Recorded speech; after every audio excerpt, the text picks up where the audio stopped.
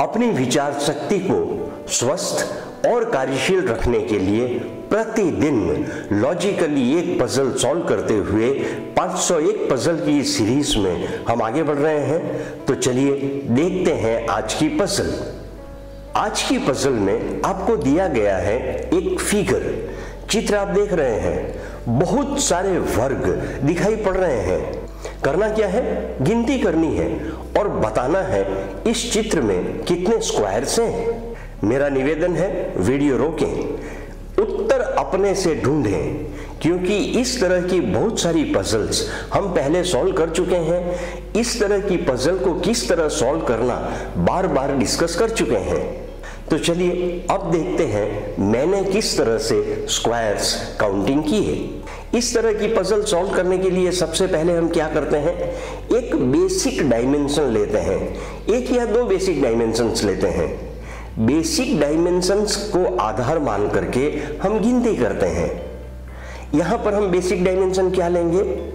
सबसे छोटा स्क्वायर मान लेते हैं कि सबसे छोटा स्क्वायर जो हम देख रहे हैं, उसकी साइज़ है m sides m into M m को आधार मान करके गिनती शुरू करें।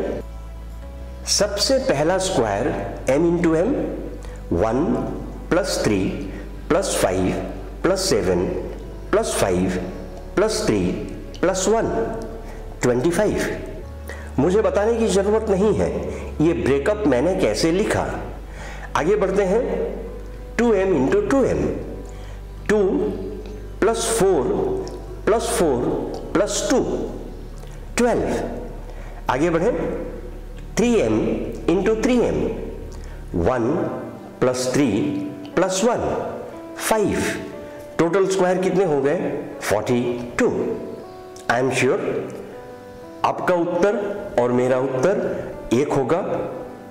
मेरा यह भी विश्वास है कि आपने गिनती करते समय प्रोसेस को फॉलो किया होगा।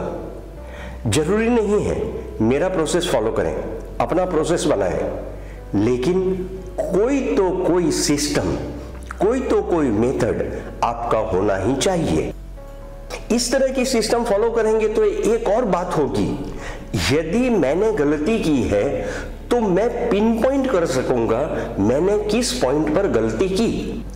यदि मुझे रिकाउंटिंग करनी है या मेरे उत्तर को क्रॉस चेक करना है तो क्रॉस चेकिंग बहुत आसान हो जाएगी। इस तरह की पजल सॉल्व करने से दो बातें होंगी। पहली, आपकी एनालिटिकल थिंकिंग बढ़ेगी। दूसरी विजुअल एबिलिटी का भी विकास होगा। इनडायरेक्टली तीसरी क्वालिटी भी बढ़ेगी।